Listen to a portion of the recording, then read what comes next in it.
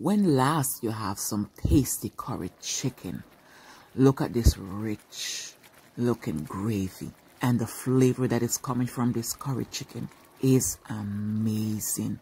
Come over to my kitchen to learn how you can make this tasty curry chicken.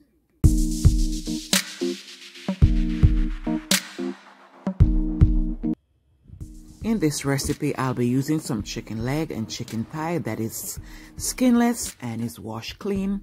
Here I'm adding 2 tablespoons of all-purpose season and I'll be adding a teaspoon of crushed pepper. That is if you would like some spice. I would prefer to use scotch bonnet, but that is what I have at the moment. So there also I'm adding some crushed pimento seed, one tablespoon of curry powder, and there I'm adding about three tablespoons of one of my favorite green season. So I'm going to give everything a nice mix, making sure all the chicken pieces is coated well. And once we have done this, we can allow the chicken to marinate for at least an hour. But the longer you allow it to marinate, the tastier the chicken will be.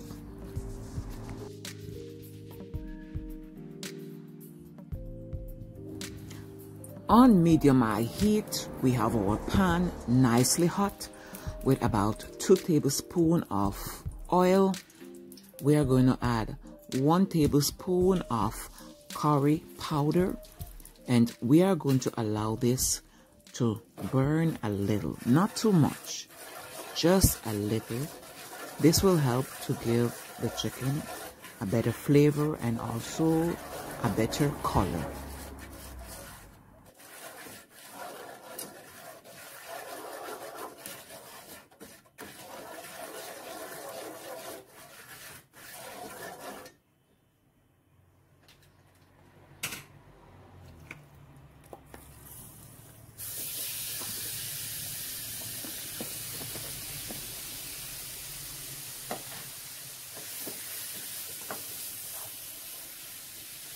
After adding chicken pieces in the same dish, we are going to add about half cup of water and pour it over the chicken.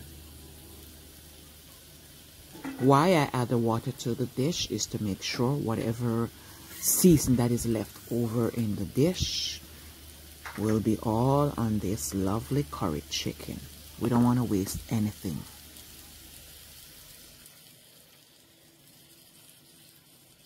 So about 15 or 20 minutes later, we are going to check back. So this time we are going to add the rest of our season. Here I'm adding two cups of water mixed with about three tablespoons of cornstarch. This will help to thicken the gravy. This will give you a nice thick gravy. Actually, I prefer to use the cornstarch than the flour. Some people use flour, but I prefer to use the cornstarch. To me, it gives a clearer and a more beautiful gravy.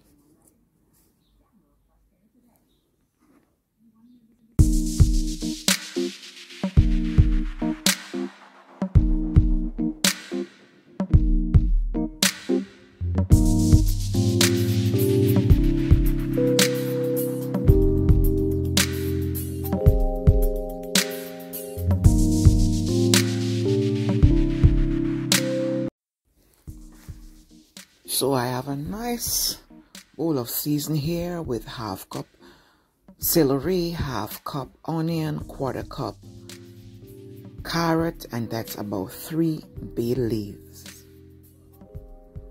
And I'm about to add half cup of chives. More season you add, more flavor you will get from your curry chicken. And here also I'm adding some thyme and rosemary. Wow. Boy, ladies and gentlemen, I'm telling you, the, the combination of all these season, oh my goodness, this bring a mouth watering flavor. The flavor is amazing that is coming from this curry chicken. Just the look at it can tell you. And we are not done because at the end of this curry chicken, I am going to show you my final flavor. So we are going to allow this to continue to cook. Look how beautiful it is simmering. If you like this video, subscribe to my channel and hit the notification bell so you'll be notified whenever I upload new and delicious recipes. And a big thank you to my subscribers.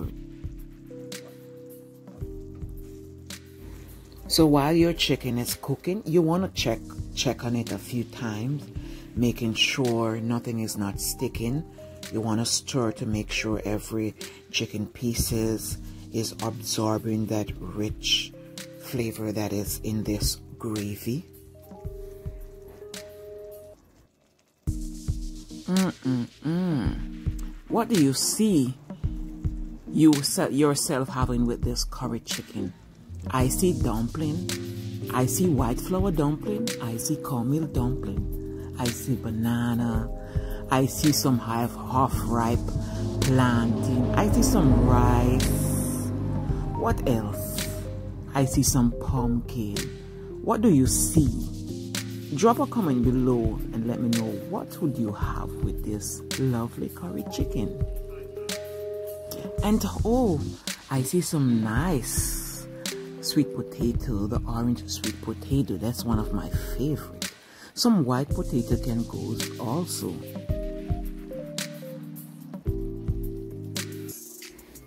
So about an hour later, we have come to the final result of this lovely curry chicken. Like I mentioned before the flavor that is coming from this chicken is marvelous. Marvelous. Lovely. As you can see for yourself ladies and gentlemen all these herbs is going to bring out the best flavor in your curry chicken. So we have one more final thing to do.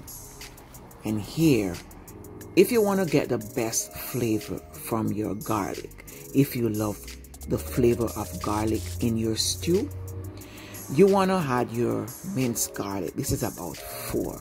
At the end of your cooking, just like this, you want to add it mix it right throughout the gravy. Make sure the gravy all chicken pieces is coated well with the gravy that is mixed properly with the garlic.